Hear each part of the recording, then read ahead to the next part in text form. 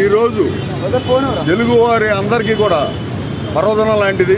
ముఖ్యంగా మన సి- అటు సినీ రంగంలో ఇటు రాజకీయ రంగంలో తనదైన చరిత్రను సృష్టించుకున్న విశ్వవిఖ్యాత నట సార్వభౌమ శ్రీ నందమూరి తారక రామారావు గారి జయంతి అంటే ప్రతి ఒక్క తెలుగువాడికి వాడికి వాళ్ళకంత పర్వదినం.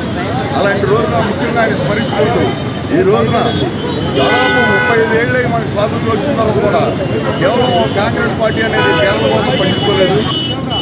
అలాంటి తరుణంలో పేదలకి అన్నం కల్పించాలని రెండు రూపాయలకి కిలో బియ్యం పథకం ప్రవేశపెట్టినటువంటి అన్న నందమూరి తారక రామారావు అలాగే ఎప్పుడు కూడా లేనోడు కూడి గుడిసో ఉండాలి ఉన్నాడు భవనాల్లో ఉండాలనే నినాదం మానేసి ప్రతి ఒక్కరికి కూడా పక్కా ఇల్లు నిర్మించినటువంటి వ్యక్తి నందమూరి తారక రామారావు అంతేకాకుండా వాళ్ళకి ఒంటి మీద గుడ్డుందా లేదని చేనేత వస్త్రాలని జనాల్లో తీసుకెళ్ళి ఇవాళ కూడు గూడు గుడ్డ అనే నినాదంతో ఒక తెలుగుదేశం పార్టీ స్థాపించినటువంటి వ్యక్తి నందమూరి తారక రామారావు గారు.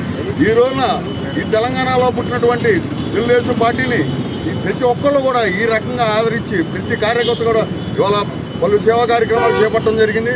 దాంట్లో ముఖ్యంగా ఒక పక్కన ఎలక్షన్ కూడా ఉందన్న కారణంతో ఏదో చిన్నదాంతో సరిపెట్టుకోవాల్సి వచ్చింది. కానీ ఇట్లా వాడ వాళ్ళ కూడా ఈ రోజున కార్యక్రమాలు జరుగుతున్నాయి. ఇక్కడికి ఇచ్చేసినటువంటి కార్యకర్తలకు మీడియా సోదరులకు అందరికీ కూడా ధన్యవాదాలు.